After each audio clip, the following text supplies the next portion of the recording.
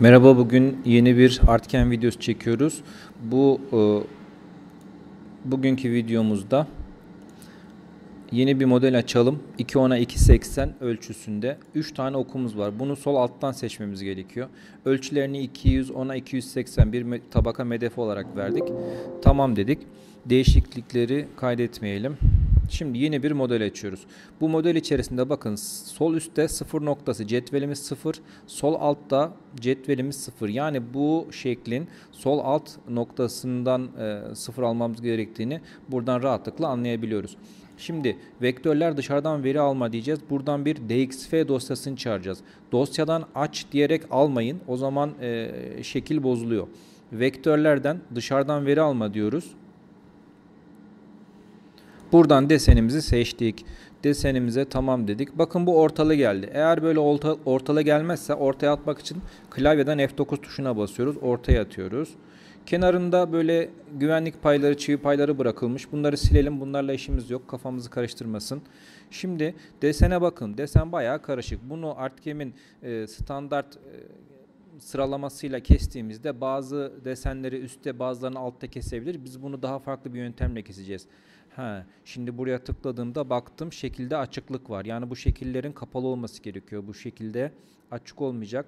Bunlarda açıklıklar var bakın. Mesela bu tam bir şekil.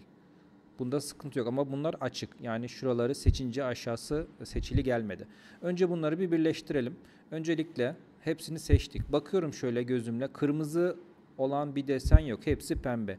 Hepsi pembe demek bunlar tek demektir. Eğer üst üste birden fazla olsaydı bunlar kırmızı görünecekti. Onları temizlememiz gerekiyordu. En başta gözle kontrol ettim. Hepsi pembe. Tamam. Şimdi asistan kısmında bakın şurada şurada evet vektörleri birleştirdiği bir aracım var. Buna basıyorum. Burada diyor ki bakın şu andaki vektör sayısı 344 238 olacakmış. Bunları birleştirecekmiş. Birleştir diyelim. Otomatik olarak birleştirdi. Şu anda 238. Tekrar şuraya tıklayalım. Bakın şu anda tek oldu. Şu da parçalıydı. Baktım bu da tek oldu. Hepsi tek. Tamam. Ben yine de bir e, kontrol etmek istiyorum. Hepsini seçiyorum. Şurada Vektör Doktor diye bir aracım var. Vektör Doktoruna bastım. Şuradan tanımla diyorum. Tanımlaya bastığımda çok güzel hiçbir hata vermedi. Şeklim düzgün. Şimdi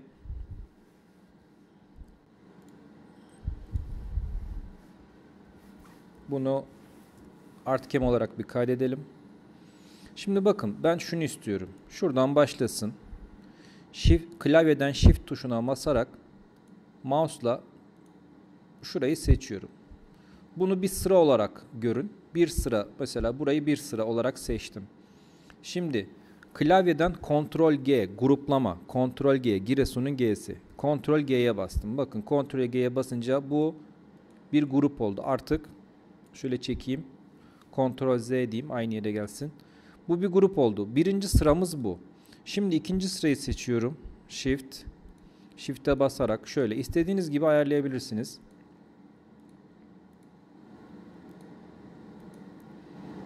Şöyle seçtim. Bu ikinci sıra. Buna da Ctrl G dedim. Bu da ayrı bir grup oldu. Şöyle göstereyim. Ctrl Z dedim. Aynı yerine geldi. Şimdi bakın. E, hepsini tek tek mi seçeceğiz? Yok. Şöyle seçebiliyorum. Mesela böyle. Böyle seçtim. Şuna Shift dedim. Shift'e basarak bunları da ekledim. Ctrl G dedim. Bakın hızlanalım. Bu şekilde yaptım. Seçtim bu sırayı.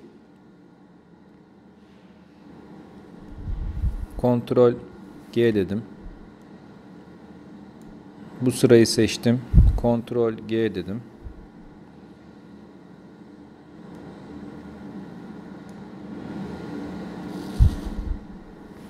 Ctrl G diyerek devam ediyorum.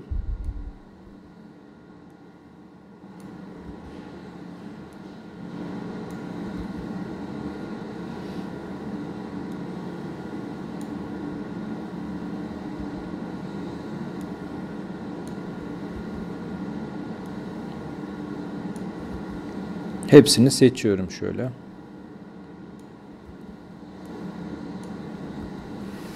Tamam. Herhalde seçilmeyen kalmadı. Şimdi takım yolu yaparken onlar zaten meydana çıkacak. Evet. Şimdi birinci sırayı seçtik. Takım yolu oluşturuyorum. Takım yollarına geldim. 2B takım yollarından profile geldim. Buradan diyorum ki dış. Dıştan keseceğim bunları. Kaç milim keseceğim? 18 milim keseceğim.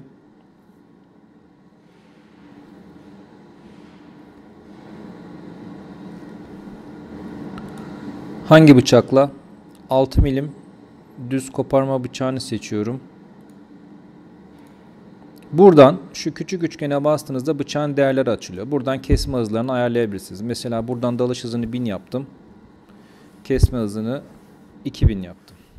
Buradan ayarlayabiliyorsunuz. Muhakkak saat yönünün tersini seçiyoruz.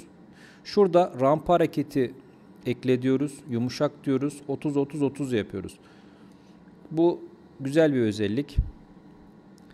Şimdi kesme sıralaması en iyi demiş. Bunu en iyi yapmıyoruz. Artık sıra sıra seçtiğimiz için soldan sağa diyelim. İsmine 1 dedim. Burada hesapla dediğimde bakın en alt sırayı yaptı. Saat yönünün tersi bu sırayı yaptık. Şimdi bu ekranımızı hiç kapatmıyoruz. Burası açık. Şuradan hemen ikinciye tıklıyoruz. İkinci sıraya. Şuradan 2 diyoruz. Hesapla diyoruz. Üçüncü sıraya tıklıyoruz. 3 diyoruz. Hesapla. 4 hesapla. Bu şekilde gidiyoruz. 5 hesapla. Bu şekilde yaptığımızda makine bunları keserken tam olarak bizim istediğimiz sırada kesecek. Yani arada gruplamadığımız var herhalde. Şurayı bir gruplayalım. Ctrl G diyelim. 7 hesapla.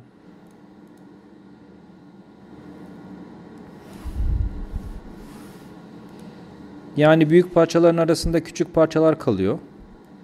Büyükleri kesince onlar boşa düşüyor. Bu sefer onları keserken makinede titretme, fırlatma olabiliyor. Bunları engellemek için bu şekilde sıra sıra takım yolu oluşturuyoruz.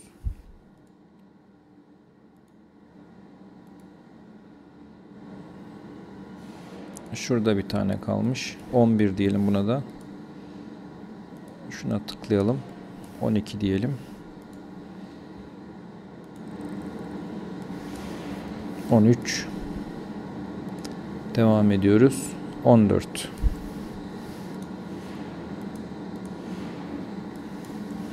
15 ve 16. 16 tane sıramız varmış. Şimdi hesapla diyerek bunu kapatıyorum. Bakın şurada sağ tarafta takım yolu ağacımı açtığımda birden 16'ya kadar takım yolları oluşturdu. 16 tane takım yolu var. Şimdi biz yalnız bunların giriş yönünü ayarlamamız gerekiyor. Üstten girecek şu noktadan şeklin üstünden girecek ve saat yönünün tersi. Saat yönünün tersi tamam. Ama giriş yönleri bakın değişik yerlerde. Bunlar da parçanın kesilirken oynamasına sebep olabilir. Şimdi onları ayarlayacağız. Bakın burada takım yollarının içerisinde köprü oluşturma diye bir araç var. Şuradan birinci takım yolunu sağdan birinci takım yolunu seçtim. Sol taraftan köprü oluşturmaya tıklıyorum. Şurada direkt pozisyon diye bir araç var bakın.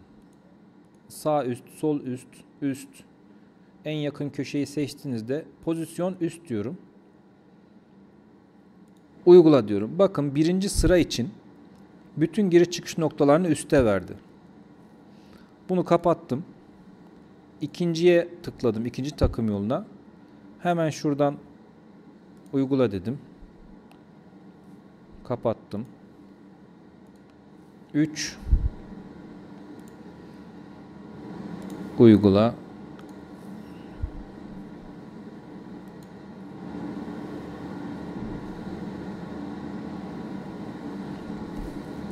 Dördü seçtim. Uygula deyip kapat diyorum direkt. 5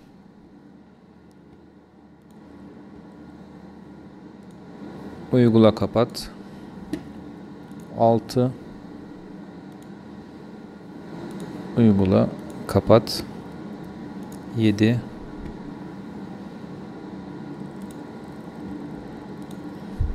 Her bir takım yolu için bu şekilde yapacağız. Yani biraz uzun sürebilir ama tam olarak sizin istediğiniz şekilde hatasız kesmesi için böyle çok karışık desenlerde bu şekilde bir ayarlama yapmamız gerekebilir.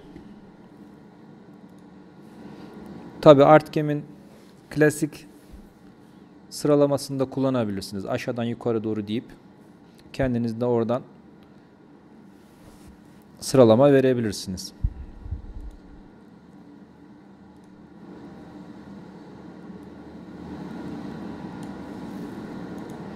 Çok da uzun sürmüyor. Yani sonuçta aynı şeyleri defalarca kesecekseniz aynı plakadan o zaman tabi daha iyi oluyor. İstediğiniz şekilde kestiği için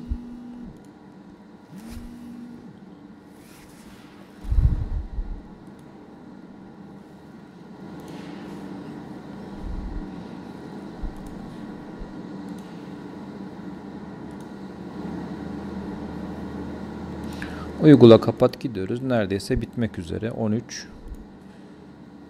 Uygula kapat 14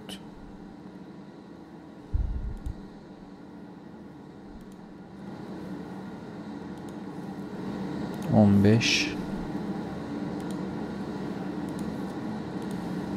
ve 16 çok da uzun sürmedi.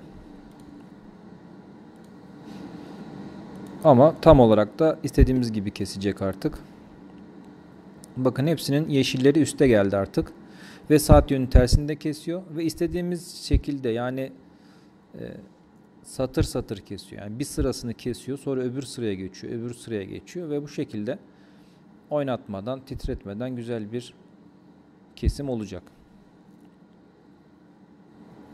Evet şimdi 16 tane burada e, takım yolumuz var.